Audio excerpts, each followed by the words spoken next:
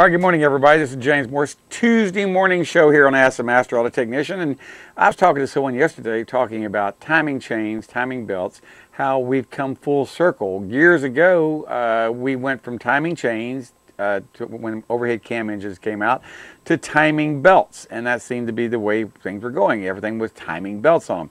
And timing belts had anywhere from you change the timing belt anywhere from every 60,000 miles to 105,000 miles, somewhere in that general area. Because if you didn't change them and they slip, well, damage could occur to the top of the engine, such as a valve being bent. I don't know if you can see it, but this valve right here is bent because this timing timing belt right here, the teeth were gone. They're just, they just, they, that's it. They're gone. They, they will slip off. There's no warning for a timing belt when it goes. I mean, you just can't take the cover off and look at it. Go, okay, that looks bad. That looks good. No, they'll look good until something happens and they'll just come apart. The you have to go by time or by miles, like oil changes. Oil changes, they'll tell you every three months, 3,000 miles, every six months, every 6,000 miles. Well, it's the same thing holds true about, well, all other fluids as well, but also with the timing belts. Timing belts normally are five years, 60,000 miles or 10 years, 100,000 miles. I don't know which car you have, but uh, every car is a little different. If you go to if you call, go to a shop, and you can any shop out there, and they can go to their uh, their reference page. Like if I go to All Data, I go to All Data Technician Reference. Oh, come on, I need to spell it right first. It'll tell me exactly what kind of uh, what the what the uh, change uh, mileage and time is supposed to be on a vehicle. And that's one of the things that I've seen over the years, like, oh no, Mitsubishi, they're a non-interference engine. Some Mitsubishis, such as the 3.0 engine, is a non-interference engine. That's the 3.0 single overhead cam engine. It won't bend valves. But that same engine that's a dual overhead cam engine will bend valves. Same block, just different heads. They will bend valves. Uh, you've got a lot of cars out there that have any car that has a timing chain on it. If the timing chain slips any more than two or three teeth, it can bend valves. Uh, that's one of the reasons that, that they've gone from from timing chains, excuse me, from timing belts to timing chains because they found out people really didn't like the idea every five years having to spend 1,300 to $1,500 on average to put a timing belt in. And a lot of people didn't they wouldn't put it, you know, they wouldn't do the maintenance, and they did the maintenance after it was too late, after the timing belt has broken or slipped, and now they're sitting on the side of the road, disgusted, mad. They just trade their car in. They said, "Okay, that's great. We'll just trade the car in and get another one." Well, I don't think they said that, but they probably said that's what we're going to do. We're tired of this. You know, it's going to cost so many thousands of dollars to fix this engine now you know, it's got 100,000 miles on it, let's just go ahead and get another car. Well, 100,000 miles isn't a lot of miles on today's cars. I've got lots and lots and lots and lots of cars that come in here every day with 150,000 plus miles on them. I would venture to say an average car that comes into my shop has 100 plus thousand miles. Now, years ago, back when I first went into this business back in the, uh, in the 60s, back in the late 60s, early 70s, working on cars, by the time a car got 70, 80,000 miles on it, it was considered high mileage. It was, just, it was time to get rid of the car. We really, I don't think Americans traveled half as much then as we do now. Today, it is not uncommon for an average person to put 15,000 miles a year on a car, especially depending on what part of the country, I mean, what part of the, how far they have to travel to go to work. It's not uncommon if you live in the Atlanta area to drive, uh, that I know, I have family live up there, to drive an hour or more to come to work. I, I'm, I, uh, that's at 60 miles an hour. I mean, so we're talking about you have to drive 60 miles or more to get to work. That's how, you know, that is what I've seen in some metropolitan areas. So, so people can put 15,000 miles a year on a car. So in, you know, six, seven, eight years, the car has lots and lots of miles on it. And years ago, that engine would be wore out. It'd be smoking. It'd be leaking oil. It'd be smoking oil too, especially. It'd be misfiring you know, you have a check engine light if we had check engine lights back in the 60s and 70s, but we don't have that anymore. Now we have computers, and the computer's job, the number one job of a car's computer is to save the catalytic converter. And that's pretty darn good because in order to save the catalytic converter, it has to make sure there's not too much gas going in the car, not too little gas going in the car, but just the right amount. trying to keep that fuel ratio at a certain 14.7 to 1 stoichiometric fuel ratio for all you gearheads out, gearheads out there that know what the stoichiometric fuel ratio is, a 14.7 to 1. And that's what it tries to do. And by keeping it at that rate, and keeping everything working like it's supposed to, it makes the catalytic converter will last forever. What kills the catalytic converter is things that uh, don't work, like misfires. Fuel pumps that work don't work. Work don't work. I've seen that happen. Car goes down the road, it loses power, and all of a sudden it comes back to life again. Drives down the road another 15 minutes, all of a sudden loses power, comes back again.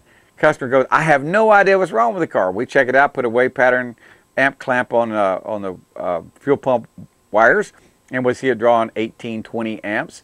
We'll see it uh, have a bad spot on the uh, on the armature, and we say, hey, you've got a bad fuel pump going out, it's drawing too many amps, and the pattern doesn't look good, and your fuel pressure is a little lower than it should be as well.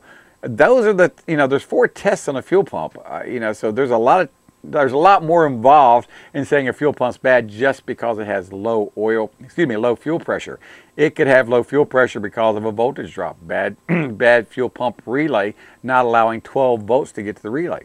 That could be it. I mean, I, normally when you see that, you got other problems because when you get a lot, when you get 75 to 100,000 miles on a car, we start seeing fuel pump problems and we start seeing timing chain problems and timing belt problems, especially if people haven't kept the oil changed on timing on cars that have timing chains.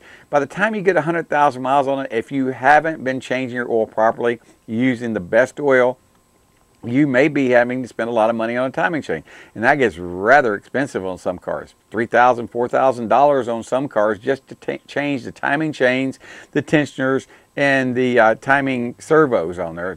Uh, that, like if you have a variable valve timing, like on a Ford 5.3, 5.4 engine.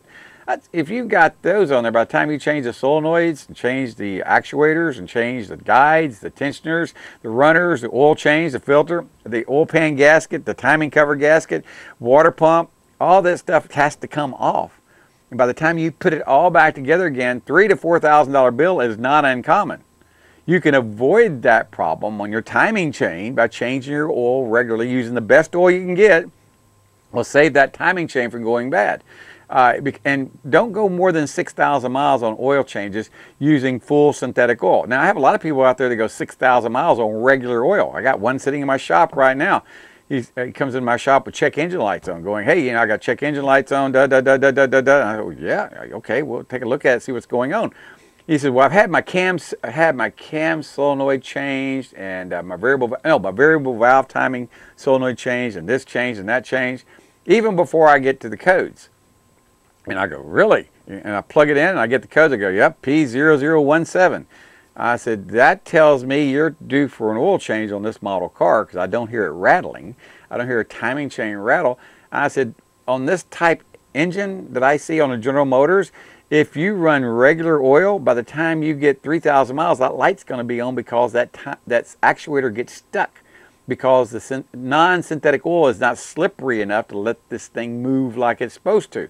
The filter gets a bypass mode. It doesn't filter. Trash gets passed. It gets in the it gets in the solenoid, hangs it up. My advice is let's change the oil, put full synthetic oil in it. You don't go more than 6,000 miles between oil changes, and this problem will stop.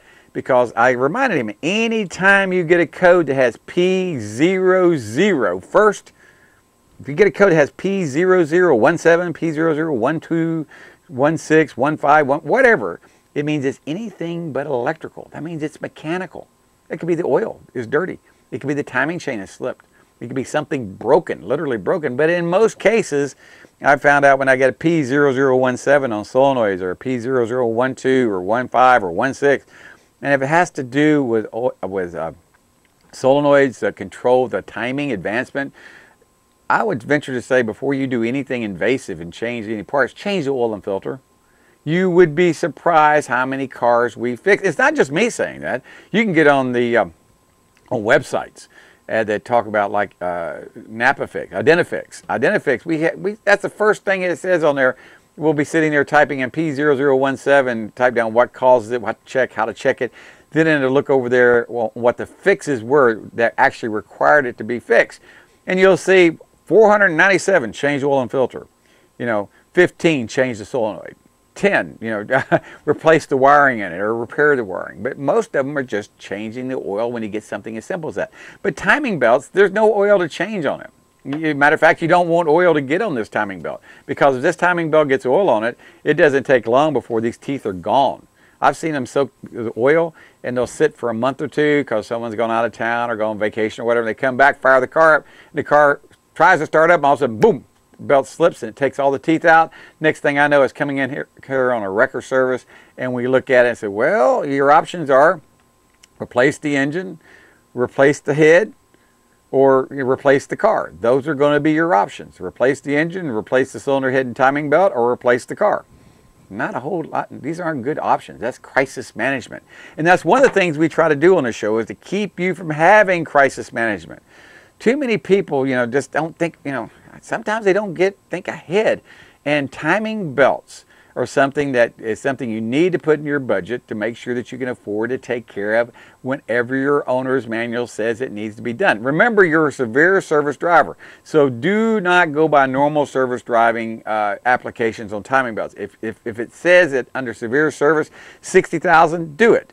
Not 80,000. 60,000, do it. It's best if you do it a little before the time it is. Because I've seen cars that say good for 60,000 miles or five years, and then on the you know, go five years and I have 48,000 miles on the customer. Ah, oh, it's only got five years on. Don't worry about it. I got another 12,000 miles. By the time they get to the sixth year, they got 58,000 miles on them and the timing belt has broken. Now they're replacing the car, replacing the engine, or, or maybe hoping to get it fixed or give it away to somebody. But that's what I've seen over the years. So better safe than sorry. Have that money put back in reserve. Timing belts on average, by the time you change the timing belt, the tensioners, the idler pulleys, all the cam seals, the crank seals, all the things that go with it. Water pump. You can spend anywhere from 1,100 to $1,800 depending on the make, model, and year of car. Anyone that's advertising timing belt jobs for $175, that's a bait and switch. I'm serious. All you're getting is maybe a timing belt if you get that. And they may put a timing belt on there, but it won't be factory. It won't be an aftermarket one. It may not be the right one, but it'll be one on there, and you'll get it. But I'm going to tell you something. I have never seen anyone get a very inexpensive timing belt put on their car without having problems six months to a year down the road. Normally what happens is the cam seals leak, the tensioner fails, the belt slips. The next thing we know, we got bent valves. So what you paid to get done to make where your car would be dependable, you might as well just taken that money and tossed it down the toilet and let it flush down because that way Mr. Hobbs might, Mr. Scott Hobbs might be able to find it when they clean your septic tank out. But that's about one the only thing I can. That's what you're doing with your money is wasting it away if you get a cheap, inexpensive. I see people all the time. I can get a timing belt done for two hundred dollars. I say, go, please. I can't stop you. I said, I'm, I'm, please go there, but ask what you're getting first. Are you getting tensioners? Are you getting idler pulleys? Are they changing the cam seals, the crank seals, the water pump that's actually driving, is being driven by the timing belt? Or are they just putting a timing belt on there? And most of them come back and say, all they were going to do is put a timing belt on it. And when I ask them to start adding all those things on there that needed to be done after 100,000 miles, they look at me and go, we've never done that. And I go, okay, let them do that then. And uh, most of them come back and go, you know, if it seems too good to be true, it probably is. And that's exactly right. If the price seems too good to be true, it probably is. If you got a car question, give us a call at 850-763-0555 every Monday through Friday. We're right here on Fox 28. Don't touch that dial. We'll be right back.